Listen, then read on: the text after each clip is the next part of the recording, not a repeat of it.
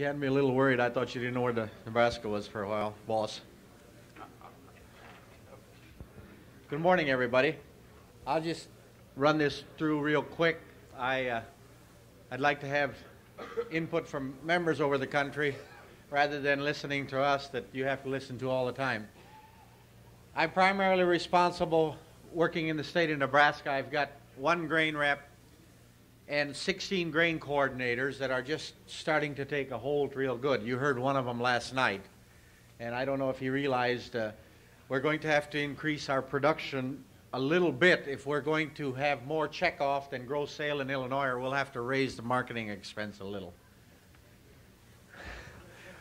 We, uh, the, in Nebraska, down through the center of the state, basic south, south central through the Platte Valley has been corn corn and corn, and western part is wheat. The eastern third is a soybeans, wheat, variety of other crops.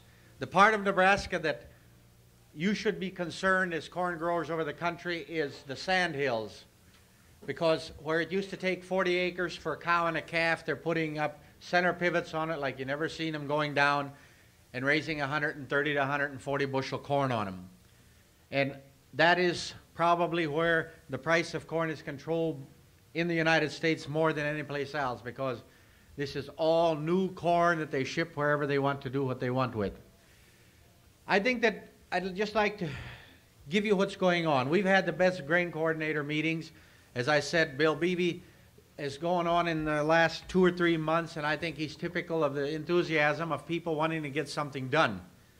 We have been a, an organization that has been a marketing organization up until now, and I think leaving this convention, we're going to be, we've been marking time, waiting for everybody to decide, I suppose, that this is what we have to do. The people that have known what NFO is have marked time, and now we're going to go from here because everybody realizes we've got to do it ourselves. We're going to become, starting next Monday, a collective bargaining organization instead of a marketing organization. And that's, I think, that's what we're all sitting here for. I think that we, we have to realize one thing. The one thing that is out there more predominant than anything else that I run into is everybody compares their price to their local elevator. Well, I'll tell you, that's, let me, let me give you an idea of how you might be able to counteract that. What you and I do about the price is not going to be done at our local elevator. It's what this organization sells to the ultimate producer or the processor to the feedlots out to California. The price is established there if you are a factor in the moving up of the price. If we sell to the processor for 10 cents a bushel be more because we have a big block, then he can buy it from the independent producer, then we are a factor and we'll start moving the market up. And the bigger the block, the more we can start commanding a price if you're comparing the price, or the member is, to the local elevator, that's not the bargainer's fault. That's not NFO's fault. That's yours and my fault. The marketing expense is too high, and you're, you and I are the only one that can cure that, and that's with production. It has nothing to do, the local, you can't compare local price because the bargainers and nobody else has an effect in it. You and I have to take care of that with production out in the area. So when somebody tells you, well, I got a nickel less at the elevator, well, hell, how much more did you get at the processor? That's what's going to determine whether we get the price, cost of production, or whether we be beggars as we've been in the market. So I think that we have to understand what we're doing and why we're doing it. We've got to go out and sell the idea of collective bargaining, not merchandising. And that's what I think, why we have the enthusiasm of the people in the country. They are starting to understand what they are going to do and that they have to do it themselves. And until a member understands that, we're never going to get the job done with him. And if he never understands it, then go get another one because I'll tell you, these young guys are a lot easier to talk to. And we've marked time in NFO and we've got to get these boys in there because they're the same thing as you and I were 15 to 20 years ago. And if we don't get them in there, we won't survive. So I've never the enthusiasm is the best it's ever been in the state of Nebraska because somebody wants to get something done. And I think looking out and talking to people, that's what we all want to do. We'll, uh, we'll do our part. We're going to get it put together. I've, in the last two weeks, we've purchased and are in the process of purchasing two elevators in the southeastern part of Nebraska. And the members are putting money into the elevator, and we won't let them be a part of it unless they sign three years of production right there and commit themselves 100%. And I'd like to close it with this. You know, there's a lot of different people out here. There's a lot of people that just like the chicken and the pig that we're going to furnish breakfast. For the chicken to furnish the eggs, it's a little inconvenience. But for the hog to produce the bacon for that breakfast, he's got to be fully committed. Thank you.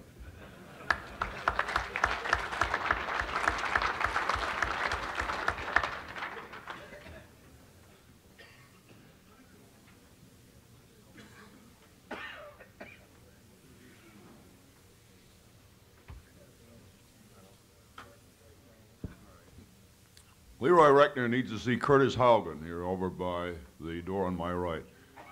Okay, let's, uh, Leland, are you, uh, you'll probably be busy shortly. This is Leland Townsend from Michigan, up in the Flint area. Let's hear it for Michigan.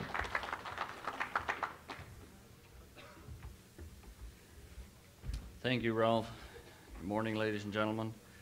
Um, as you can see on the map, uh, I'm over the Mitten area there in the United States and down in the South Bend marketing area in the upper corner of Indiana. There are six counties in Michigan that are included in the South Bend marketing area, and of course, Michigan is the Flint marketing area. We raise about everything in them areas cherries, apples, grain, dairy, hogs, cattle, sheep, edible beans, from the navies to the cranberries to the dark light red kidneys. We've got a, a host of, of crops that we raise in that area. Can you hear me back here now?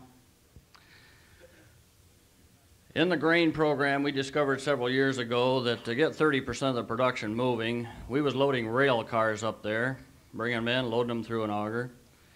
Not only do we have a variety of crops, we get a variety of weather in that state also, be surrounded by the lakes. Anyway, from the zeros in the wintertime to 100 degrees in the summertime. So, a lot of snow in the winter also. Makes it a little difficult getting the rail cars around and trackside loading. 1974, some of the members decided they ought to have their own facilities. We tried working with existing facilities in there, and that didn't pan out too good. So in 74, a group of farmers up in the northwest side of the state decided to form a corporation, a cooperative, and build their own elevator. If I can have the lights dimmed and the overhead shut off, I will just give you um, some slides I have here on two facilities they built, one in 1974 and the other one in 1976. And uh,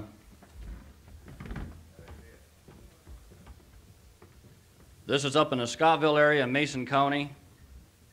The sign out at the road reads NFO Acres.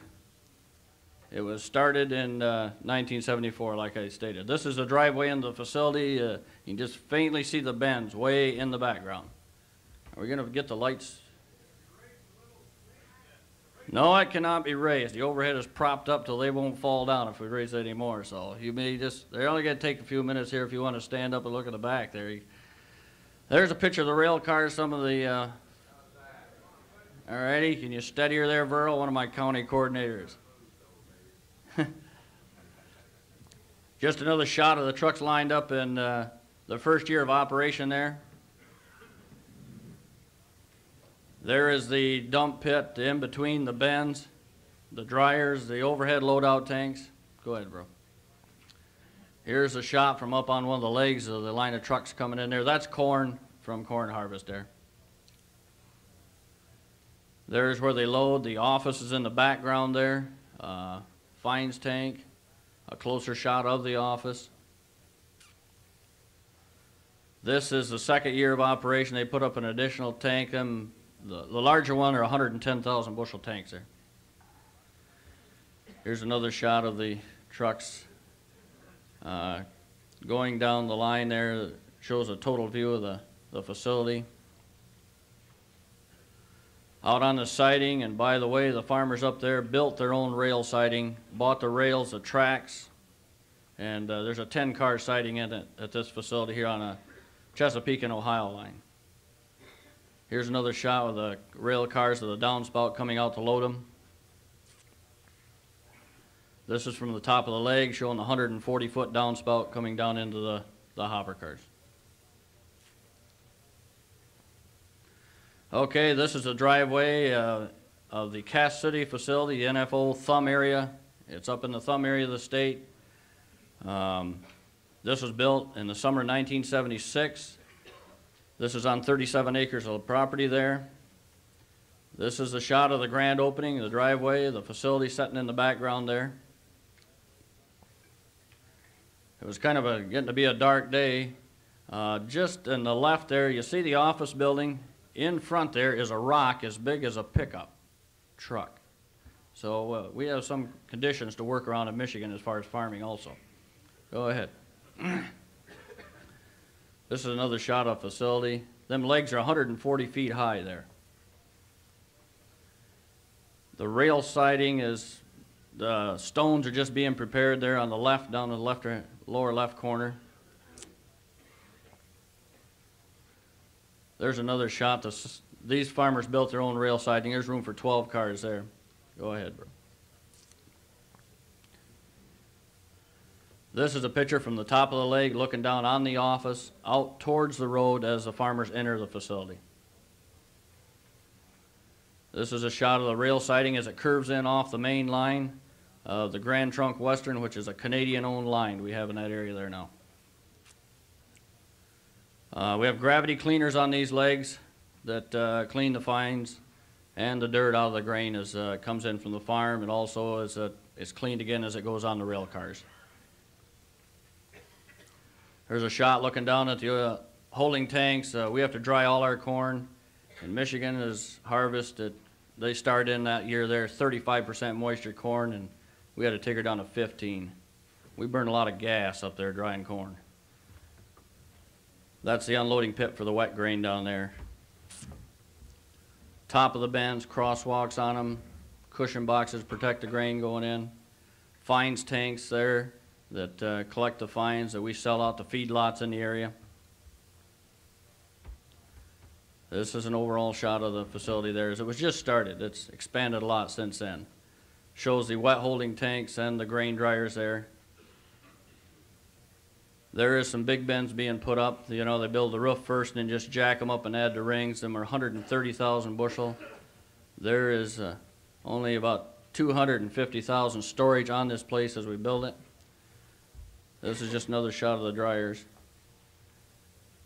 Another shot of the big bends being erected. Uh, the gas tanks, the wet holding tanks.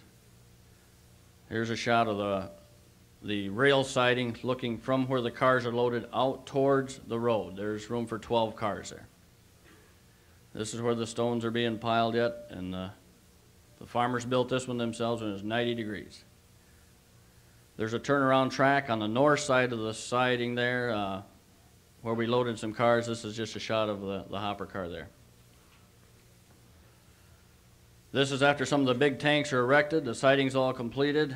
In seventy-seven, these slides were taken. There's a hopper car sitting there. Um, An additional tank was put up this year. just a newer shot of the, the dryers there. This is where the farmers come in. There's semi-scales there. They're uh, 80 ton, 70 feet long. Uh, we sometimes have farmers with gravel trains that come in hauling grain there. This is the farmer's truck on the scales as he's leaving there. Another shot of the legs. Here's the hopper cars on the siding there, uh, waiting to be loaded out. There's cars being loaded now. The one sitting down there on the track is on a uh, 300,000 pound rail scale. We weigh our own cars out right there. Uh, selling a lot to Continental Grain to the East Coast. They buy on our weights and grades right there at the facility. There's the uh, spout going into the car being loaded. This is another shot of the dryers there. Bonnie is the secretary. It's been there for three years since we built the facility, uh, taking care of all the paperwork in that office. And with the facility now, that's the end of them. Verl, you can shut it off. The, they have advanced that facility three times since we built it. Scottville's been advanced three times so- since we built that. It took just two in the state to get the farmers in a bargaining position there. Since then, if you've been reading your reporter, in the five cooperatives we have in the state of Michigan, the members own seven elevators. That got us in a position this year, I was able to go around to the biggest cooperatives in the state of Michigan and sign handling agreements. They want to deal with us now. They want to handle our products. Issue farmers warehouse receipts, specifying an outcharge. We like to do business these places. We'll sell grain to them, but we want the option to be able to pull it out, send it to East Coast, or as we're presently doing, putting together some barge sales to go down to Ohio and Indiana at the barge site and deliver grain out of the country. We've had a lot of enthusiasm in the state. The farmers are determined to do things on their own. I have uh, six coordinators uh, working now. I've got 12 lined up to work this winter. So we're gonna get the production signed up as it's out on the farm, because farm storage went up in the state of Michigan all over as it did in a lot of areas of the country. We feel the farmer's in the best bargaining position he's ever been in. She's on the farm where it ought to be. All we need to do is get the rest of it signed up, what we don't have now, and get it on our program, moving through the NFO nationwide with all the other states. And March 1st can really be a reality for us. Thank you for your time.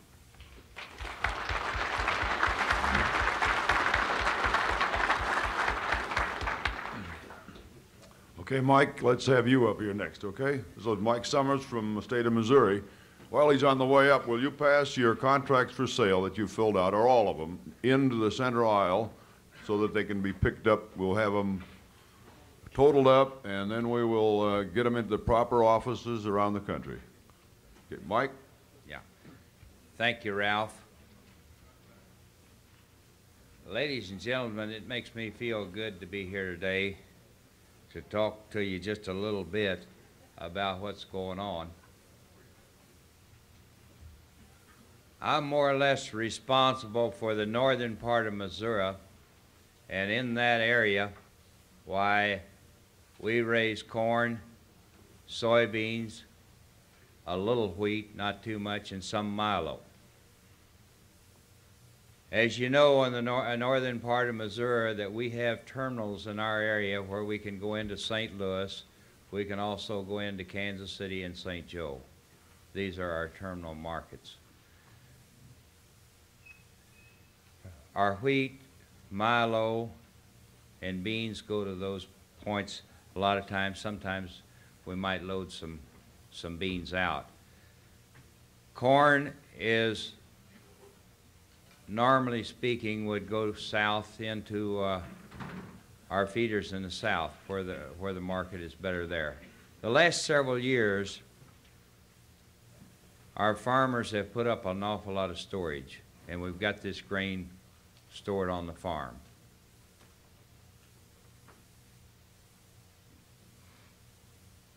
But I remember when we didn't have about five people working in the grain department. We didn't even have too much of an organization throughout the country.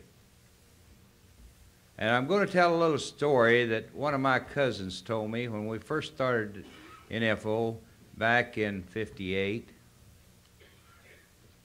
in my home county. We didn't have about 15 members, I think, in our county at that time. And I was telling him how this was going to work. and he argued with me. He's quite a bit older than I was. He says, No, Mike, it won't work that way.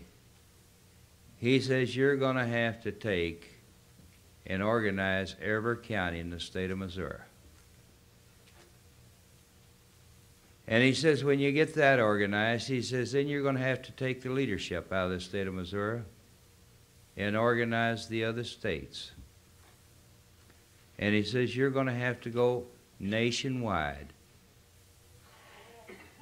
But he says, when you get the states in California and on the West Coast and on the East Coast, you get them organized, you will probably have to come back and organize, reorganize a few counties in the state of Missouri. But he says, ladies and gentlemen, I mean, ladies and gentlemen, this is what he said. When you're ready to do that, he says, watch out. The damn thing is going to work pretty quick. And I see it happening. Let's get it on a contract for sale.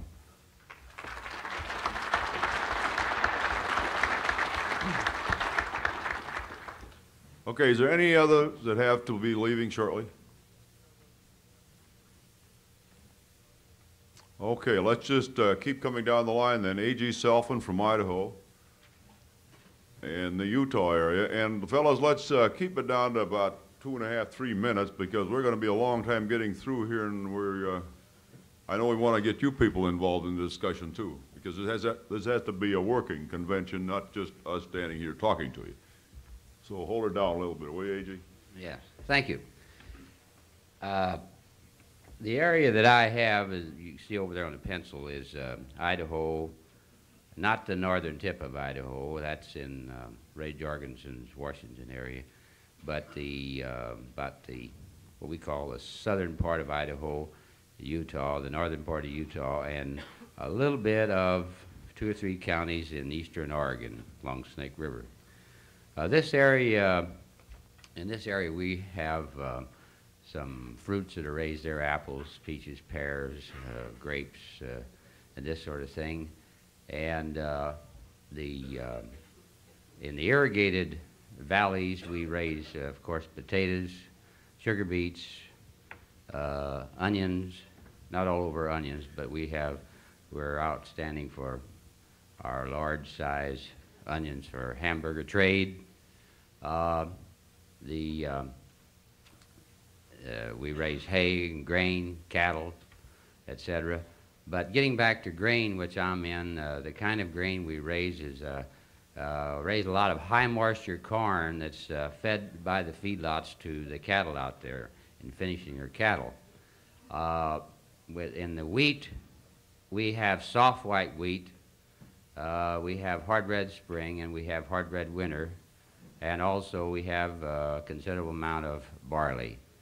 Uh, our, uh, our barley, excuse me, I came back here to Missouri and picked up one of your coals. It's a, a real good one, too. But anyway, our barley is uh, occasionally sold uh, export, but uh, the export market hasn't been any good this year.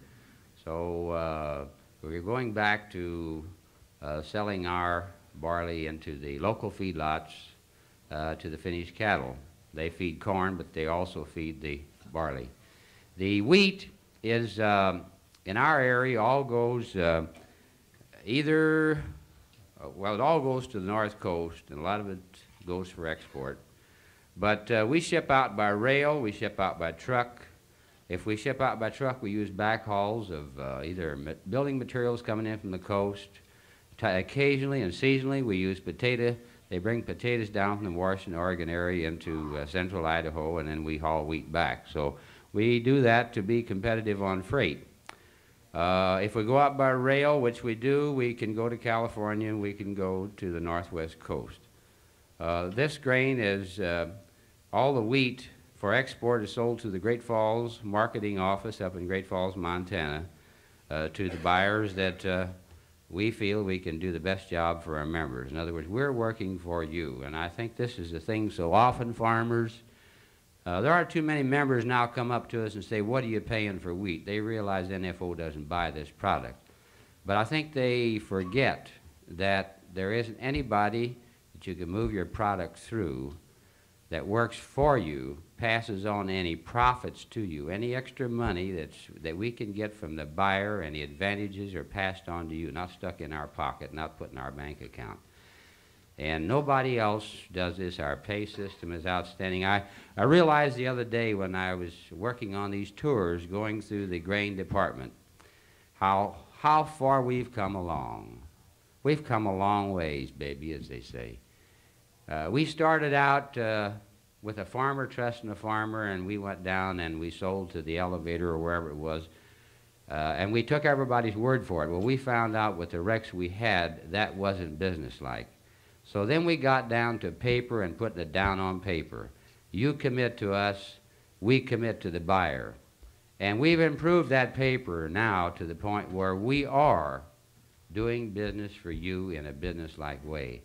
We are respected by the buyers and the trade. All we need, folks, is your product. The only problem in NFO is not the product. The problem is the members letting the product be handled by NFO. Thank you for being here.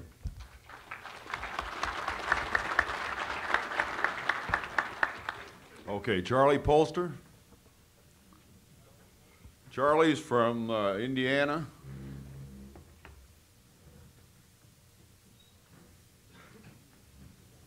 Where you got it?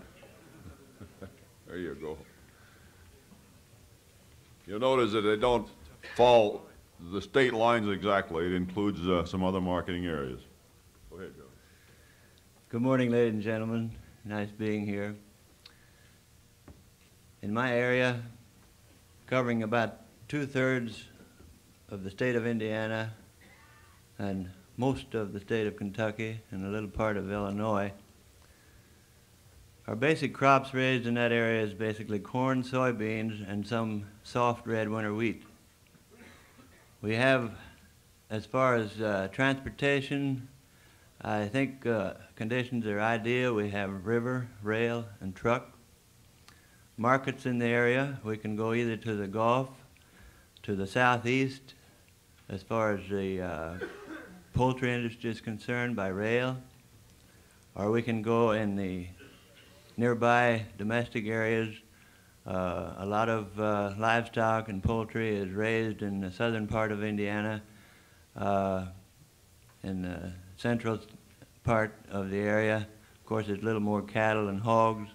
And so what we would like to do a little more of in the future, I think, is uh, pitting the export market against this domestic market and uh, put the pressure on the uh, system so that we can raise that general price level. Now, in order to do this, we need to get more grain signed on the contract for sale so that we know what we have to work with. We can make plans into the future and making advanced uh, sales on both corn, soybeans, and uh, possibly even uh, develop some supply contracts for uh, some of the uh, needs as far as the processes are concerned. In Kentucky, there is a pretty good distillers market, and so uh, they do pay premiums for that type of grain, and I would like to see uh, corn blocked in those areas so that we can go to these type markets and uh, go after some of those premiums. Thanks a lot. If any of you in my area have questions later on, uh, we can get together and make plans for the future. Thank you.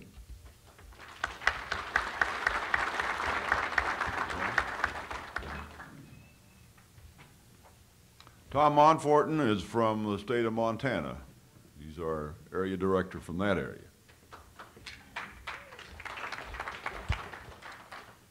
Thank you, Ralph. We, in Montana, where movement has been uh, fair, I guess, not near as much as I'd like to see. I am patient. Uh, we have three facilities that are running quite well. One of them blew down in a, about a 100-mile wind a while ago. The members have got together. They're uh, putting it back up. This is Inverness, Montana, which is moving two or three million bushel a year through it. And uh, so we're going there. Our, we're limited up there primarily by transportation. We're in the real rail crunch. We move as much grain as we can physically get out. We're running quite a few NFO hopper cars. We'd like to have another 100 in there probably, but probably won't get it. Uh, but what I came to this convention for is I wanted to see two things. I'm getting impatient to get it done. Uh, I'm getting impatient driving up and down the road, begging people. I wanted to see a commitment from people uh, financially and production-wise to get this thing over the hump and, and get on with what it's all about. And so I hope to heck that we come out of this convention with total commitment of all the people here, both financially and production-wise, so, and go home and get the rest of the people because it does me no good to give a report up here saying how great we're doing in Montana when the price of wheat is two dollars lower than we've got to have. So all I can say is for God's sakes, let's get it done.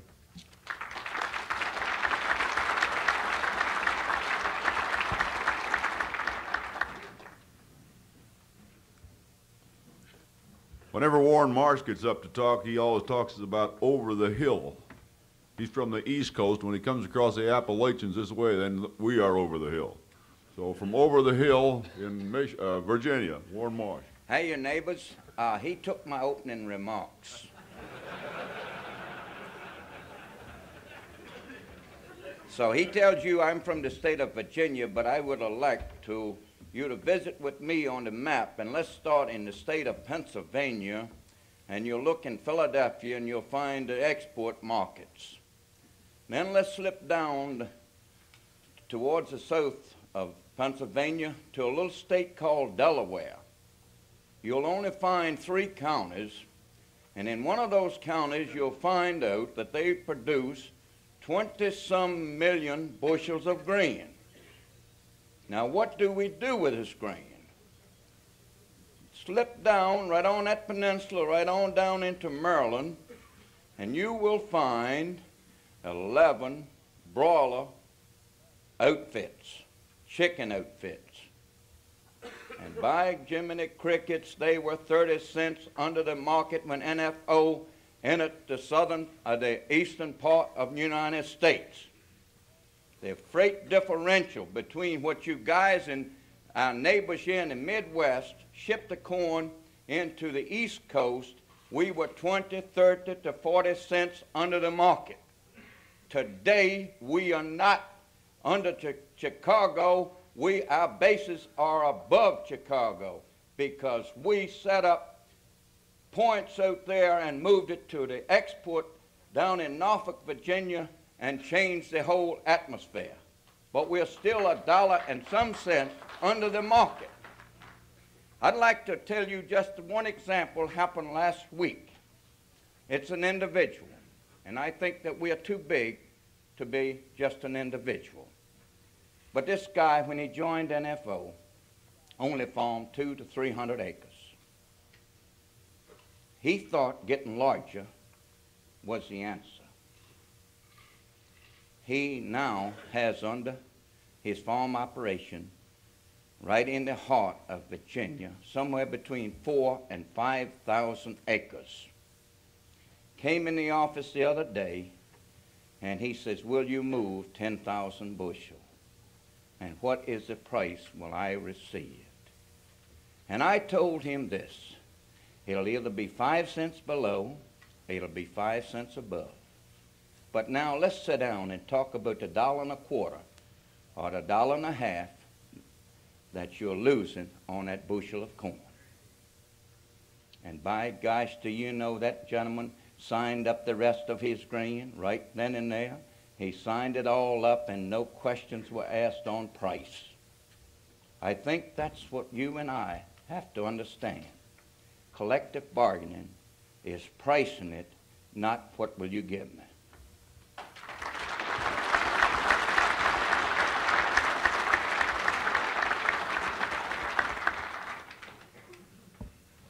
Jerry Newkirk works in the states of uh, Tennessee. Will you tell it, Jerry? We're the ones that seceded from the union. No, no we have, uh, I work in Tennessee, Kentucky. I have a few counties in Illinois, parts of Missouri, Arkansas, Mississippi and Alabama. Uh, The principal crops that we grow in that area are corn, soybeans, wheat, uh, there's milo, cotton, tobacco, and some that we don't put on the contract, uh, moonshine and so forth. But anyhow, that, yeah. We have a system set up in uh, our area that I want to talk about just a little bit. We're quite proud of. Uh, we were some of the first that move into the facilities. We have one at Clarksville, Tennessee, that uh, last year, uh, before its expansion, uh, ran a million bushels through it, and we're looking for greater things out there. I would like to say that I don't plan to spend a lot of time up here giving you a lot of ballyhoo. What I want to do is say this. I think we've done a lot of talking. I think it's time to start doing. And I would like to go along with what Tom and the rest of the colleagues up here are having to say, and I'll sit down and let somebody else talk. Thank you.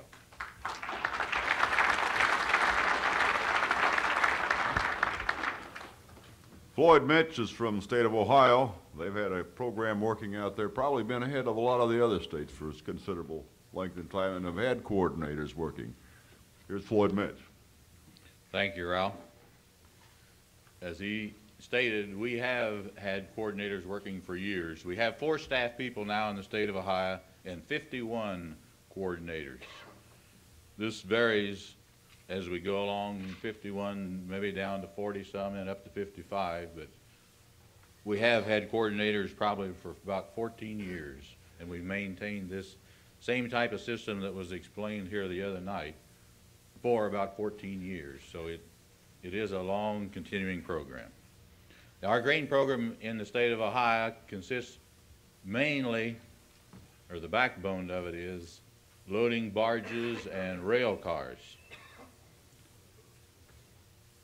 Now, it was, something was said here earlier about affecting the local markets. We bypass the local market, and we also bypass the terminal market.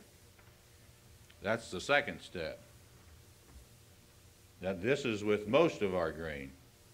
Now, we do have truck to buyer more or less as just an outlet for grain that has to be moved or at a time when we do not put a block together for a purpose to move it on the barge or the rail. But the main program is to load barges and load rail cars and move it out of the area, bypass the local elevator and the terminal elevator. Of course, the crops in Ohio mainly are corn, soybeans, and wheat. I think most of you in Ohio have already signed your grain on the contract for sale. Those that haven't, I'm sure you completed it here this morning. So you have already signed your grain in section two, so what we would like for you to do before you leave here today is to contact one of our grain coordinators or the grain staff and authorize a portion of that grain that you've got in section two for a definite blocking program that we have. We want to sell a block of soybeans next week to be loaded on a barge in January. So we want everybody in Ohio to commit a portion of their grain in section two before you leave here to go on a barge to be sold next week to be loaded in January. The same with corn. As you heard Leland talk about Michigan, Michigan is going to bring corn from Michigan down to Aurora to load on the barges. So we want the people of Ohio, also with uh, southern Indiana, to block their corn together to go on barges for January.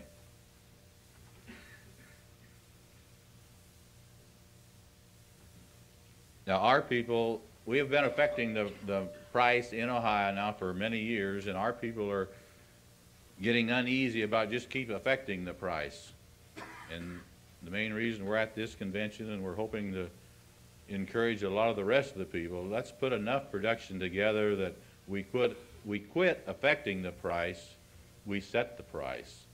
And as you've heard, that's the goal for March 1st. So let's get enough production committed on these contracts where we don't just continually affect the market, we set the price by March 1st, and we'll have a different set of problems from that point on, but I think they'll be more enjoyable than the ones we've had up until this time. Thank you.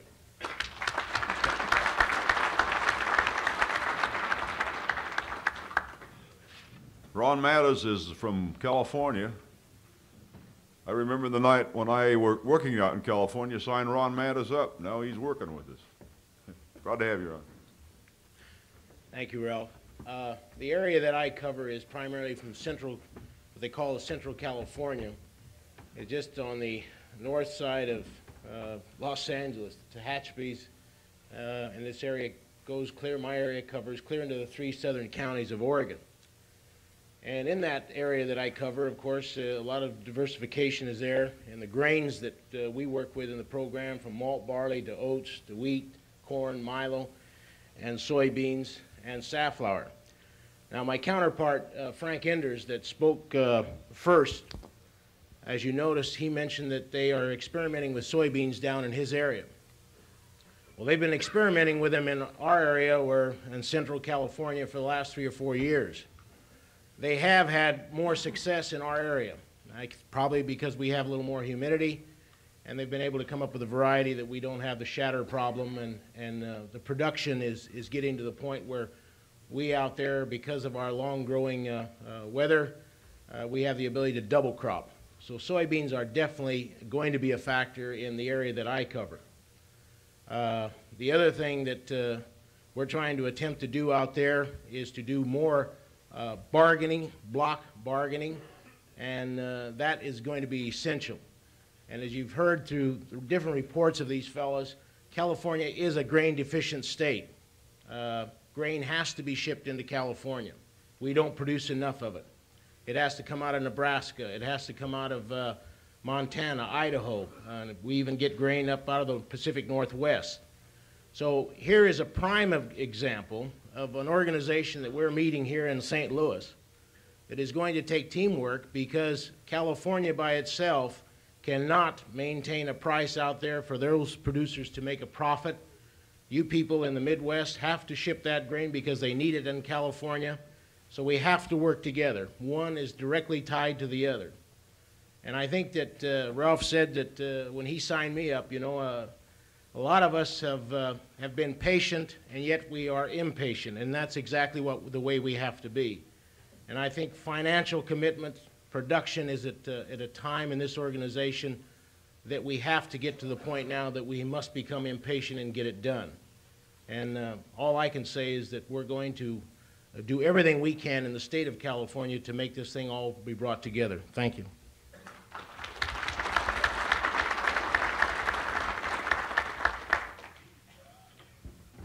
Pete Lorenz uh, works in the northern part of uh, Kansas.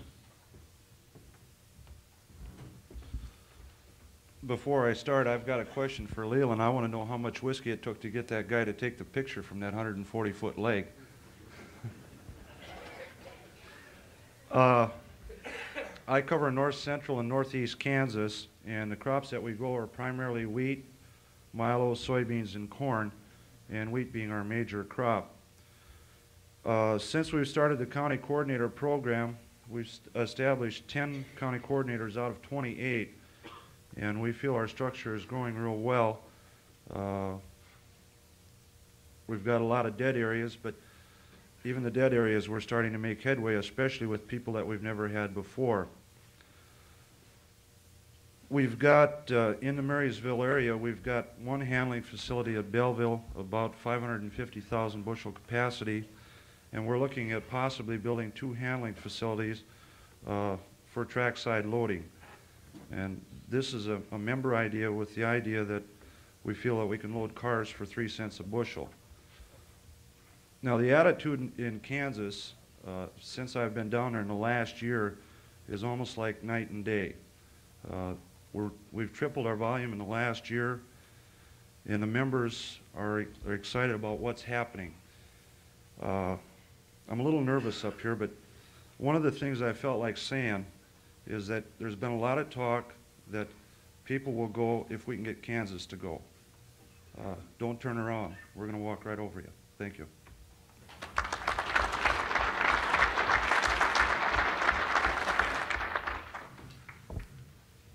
Al, Al Meetzig works in the western Kansas and eastern Colorado area. Thank you, Ralph, and good morning, everyone. It's a beautiful day outside, isn't it? Okay, the Sterling area. What does it consist of? Well, there's something like 17 counties in western Kansas and about 22 in Colorado, which pretty well covers the eastern half of Colorado. What's raised? It's quite diversified. Wheat, hard winter, corn, milo, edible beans, millet, sugar beets, cattle, hogs, and some sheep. Markets, wheat, everything relates to the Kansas City market.